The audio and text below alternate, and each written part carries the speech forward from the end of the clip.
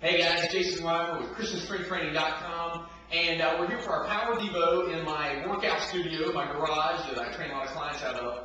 And today's a little different one I'm throwing at you. Now, I'm a huge proponent of squats, lunges, deadlifts, the basics of training.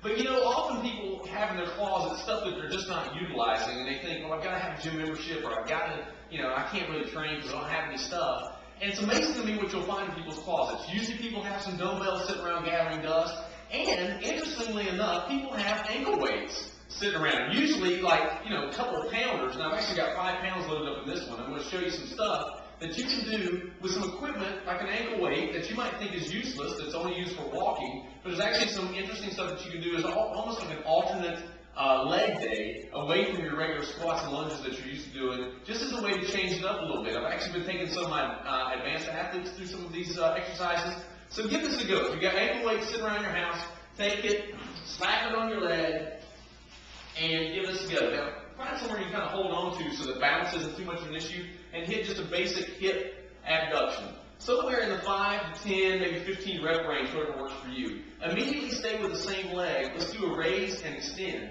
Now, this will be interesting because you often don't extend the hamstring while the knee is also going into extension. So, so we get some actual hip flexion, so we feel a little stretch to the hamstring, and then an extension right here at the knee. So this is a little different challenge also. Plus your balanced leg, glute medius, and some of the other cool parts of your stabilizing part of that hip is having to, to work overtime right there. So again, you would hit 5, 10, 15, wherever your range is for this.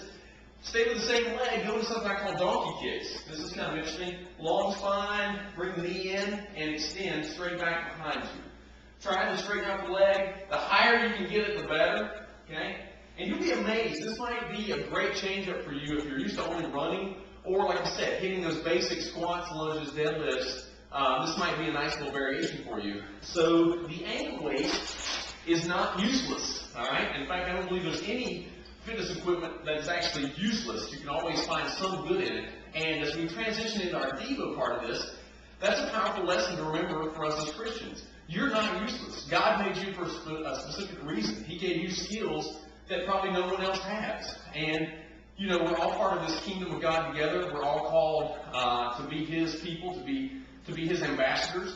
And so think about the skills that you've been given and apply those. You're not useless. You know, in the Bible, if you think about it, take Jesus and God out of it, there's a whole cast of characters who really thought they were useless until God revealed to them what their true calling was. Let's think about Moses. Actually, if you read out of Exodus, uh, Exodus 6, this is pretty interesting. This is pretty famous words. You might have seen the Charlton Heston movie. Then the Lord said to Moses, Go tell Pharaoh, king of Egypt, to let the Israelites go out of his country. And we often think, man, this is where Moses just, you know, took, took the bull by the horns and became this amazing leader. But listen to what he said back to God. But Moses said to the Lord, If the Israelites will not listen to me, why will Pharaoh listen to me, since I speak with faltering lips?